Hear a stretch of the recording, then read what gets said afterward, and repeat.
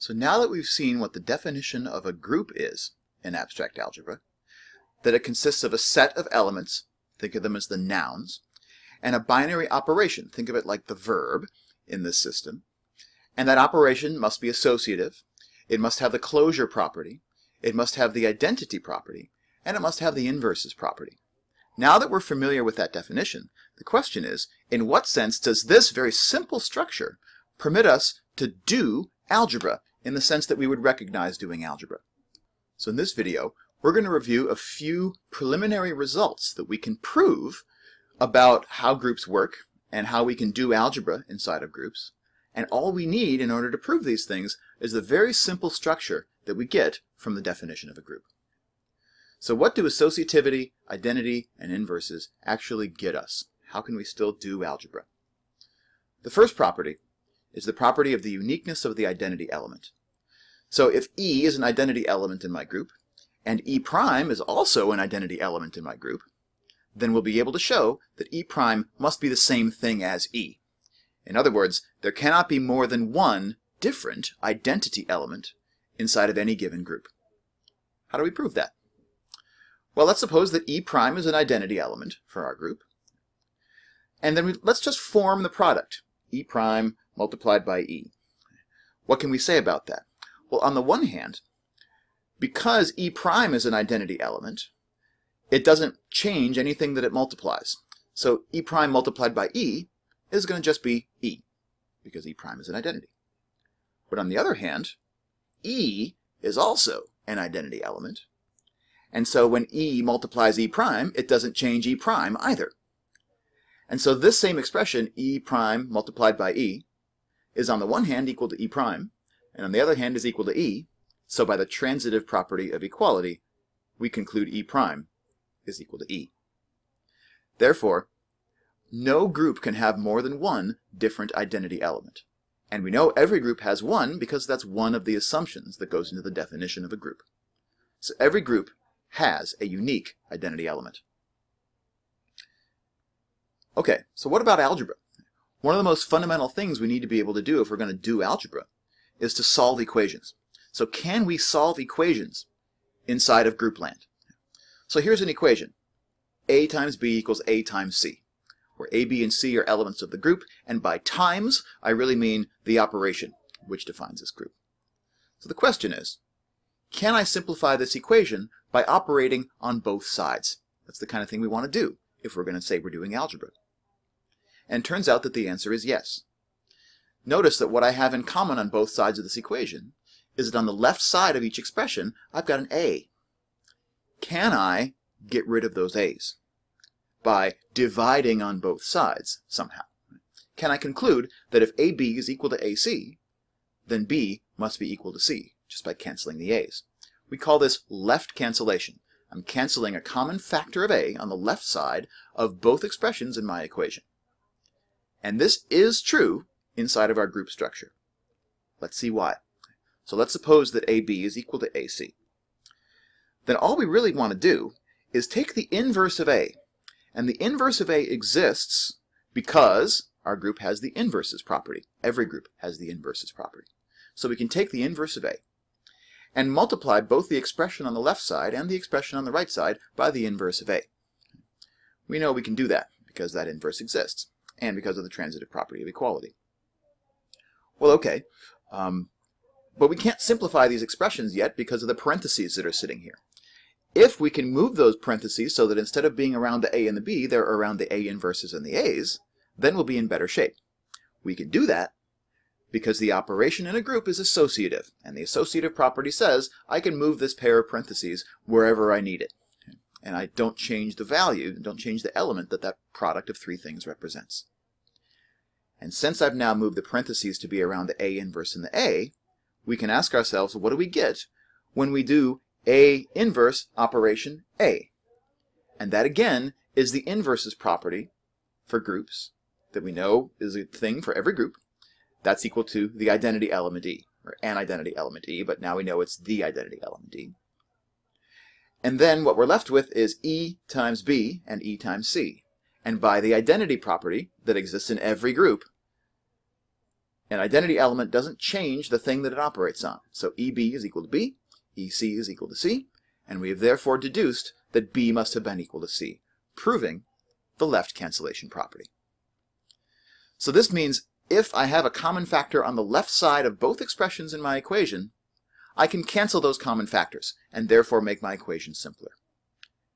And as you might expect, there was nothing special about the left side of these expressions. If I had had a common factor on the right side of both, BA is equal to CA, I could also have canceled those A's on the right, using the process called right cancellation. And the proof is completely analogous. All we have to do at our first step is instead of um, operating by the inverse of A on the left side of both expressions, this time we'll operate by the inverse of A on the right side of both expressions. And the rest of the argument is completely the same, using the associative property to move the parentheses, using the inverse property to simplify the product of A with its inverse, using the identity property to simplify the product of B and C with that identity. And therefore B is equal to C. So this is great. Properties 2 and 3 are probably the most fundamental and important. They really tell us we can do algebra with a group because anytime we have those common factors on both sides of an equation, we can simplify by canceling them out.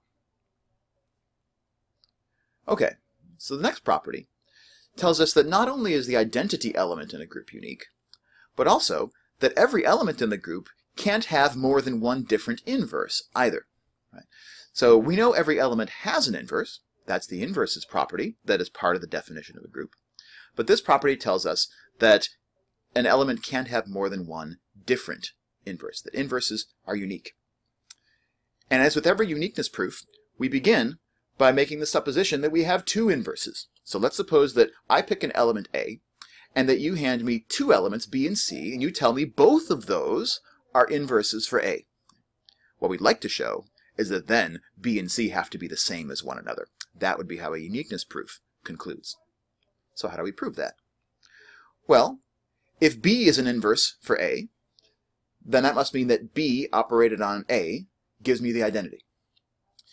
If C is also an inverse for A, then that means C operate A gives me an identity element, right? That's the inverses property in our group.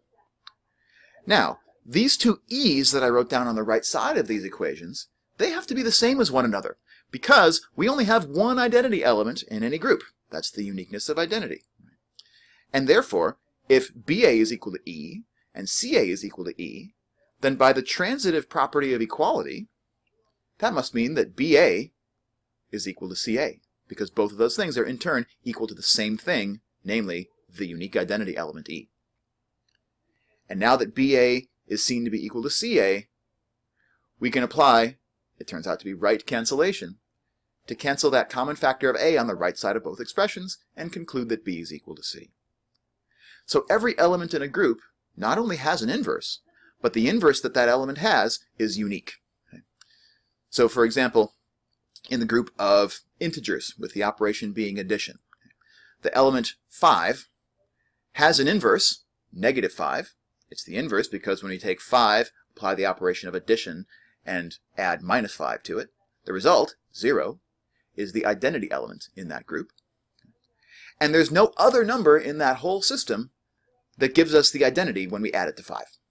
5 and negative 5 are, are a pair. There's no other inverse that either one of them has but one another. So inverses are unique. It's kind of this nice little monogamous relationship uh, that every element in a group has with its inverse. Finally, while we're on the topic of inverses, how do inverses behave with respect to the operation in a group? And what I'm really asking is if I have two elements A and B, and I form their product, if I operate A operation B, if I want the inverse of that product, how do I understand that inverse in terms of the inverses of A and B themselves? And this is a great property that some authors call the socks and shoes property. The idea being that when I put my shoes and socks on, I put my socks on first, then I put on my shoes. So socks first and then shoes. But when I take them off, I have to take off my shoes first and then take off my socks. Right? I have to, they have to take them off in the reverse order that we put them on. And so this in this formula, the inverse of A operation B is B inverse first operated A inverse second. So if I put on my socks and then my shoes, If I want to undo that, I'll take off my shoes and then take off my socks. To prove that, all we have to do is verify that if I have any elements A and B in my group, if I take this supposed inverse for AB and I operate by that inverse on one side of AB, I'm going to choose the left side, but the proof is analogous for the right. All we have to do is simplify this expression, and we hope that this expression simplifies out to the identity. Because then that would show that this blue element here, B inverse A inverse, is indeed the inverse of the red element, AB. How do we simplify this? Well, we've got too many parentheses for my taste. So let's use the associative property that exists in every group operation to move the parentheses around to where is convenient for us. And it's convenient for us to put them around the A inverse operate A. Because we can, looking ahead with a little algebraic foresight, realize that A inverse operate A is going to simplify to E, the identity, again by the inverses property that every group enjoys. And then we can take, again applying the associative property, we can group this E with either the B inverse ahead of it or the B after it. Let's say we pick the B after it. Okay, so there's a secret associative property application. And when I take E operation B, the result is B. That's the identity property. E operated by anything on either side doesn't change that thing. And now with one more application of the inverses property, B inverse operate B gives me the identity. And therefore, this blue element, B inverse A inverse, is indeed the inverse of the product AB. Because when I operate on the left side of AB with that element, the result gives me the identity. So this set of five properties really gives us some reassurance that if we have the structure of a group, even as sparse as that structure is, associativity, closure, identity property, inverse property, just having those four things no matter what kinds of elements, what kind of animals are in my farm, what kind of nouns are in my dictionary, and no matter what kind of a verb I'm using to, to make an operation on those elements, as long as it satisfies those four basic properties, we can do an awful lot of what looks like algebra.